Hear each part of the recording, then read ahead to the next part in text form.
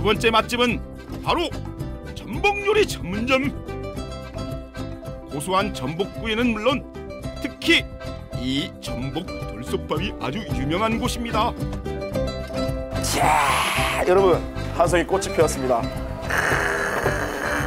거뭇거뭇한 이 빛깔 보이시죠? 개우밥이라고 하잖아요. 전복 내장으로 이 밥을 지었기 때문에 이런 빛깔이 나오는 거예요. 여러분들 이렇게 빨리 떠놓는 이유 아시죠, 여러분들? 어? 빨리 떠야 돼, 빨리. 어우. wow. 이렇게 해놓고 뚜껑 딱. 얘야 나중에 잘 불어 있어라 하고 이렇게 옆에 딱 잘 뚜껑 닫아놓고 아무 걱정하지 말고 우리는 이걸 즐기는 거죠. 자, 오 구수한 그 개우 개우의 향기, 그 전복 내장이 엄청 많이 들어가 있어. 이 향기만 맡아봐도 알아요. 음.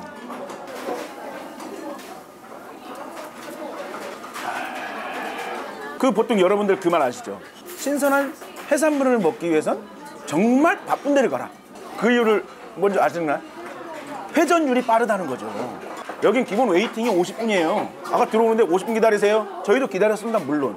그러면 저희는 금방 공수해온 전복을 먹을 수 있다는 거예요. 오래 보관하지 않은 전복.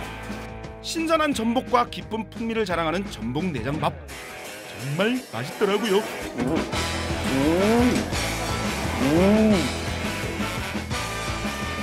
전복의 향과 식감을 오롯이 느낄 수 있는 전복구이가 빠질 수 없겠죠?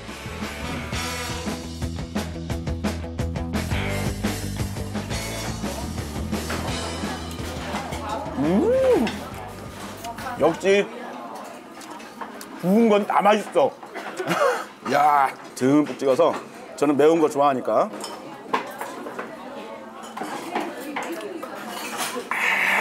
그 청양고추의 그 매콤함이 그 시원함이 너무 좋다.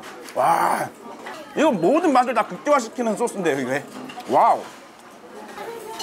어쩜 어느 것 하나 아쉬운 게 없더라고요. 누룽지 국물 한 방울도 남기지 않고 깔끔하게 먹고 왔습니다. 구수함이 다르다. 역시. 아, No, no, honey, I'm good. I could have another, but I probably should not. I got somebody at home.